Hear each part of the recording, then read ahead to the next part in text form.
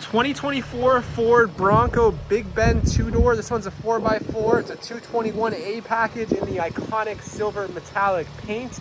Really sharp looking Bronco. They're rolling on 17 inch gray painted aluminum alloy wheels uh, with 32 inch all-terrain tires.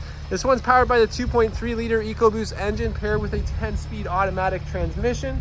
Coming around back, of course, it is a full-size Bronco, so you get that nice spare on the back. i do have your reverse camera. Then you can open up this to the side here, and then this top portion uh, does fold up.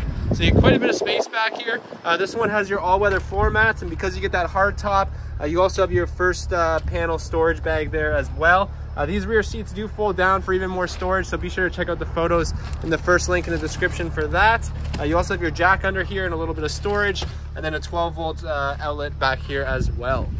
Coming around to the interior of this Bronco,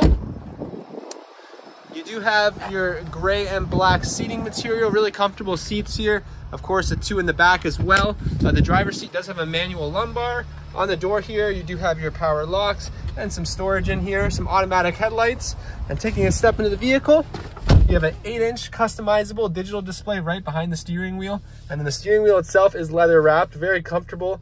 Uh, you have your volume adjustment, your cruise control here, and then you have your different phone buttons as well. Uh, you have a beautiful 12-inch center display here. Uh, you do have a couple buttons up top, as well as a little uh, GoPro mount if you want to put a camera there.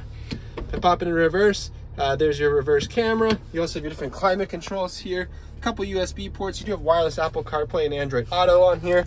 Your key fob. You do have different GOAT modes here and your different 4x4 modes.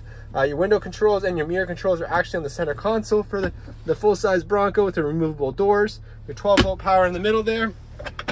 And then down here, you have some storage inside the lockable glove box. Your rear view mirror and a place for your sunglasses, and of course your reading lights up here. So a really nicely equipped two-door Bronco all the way around.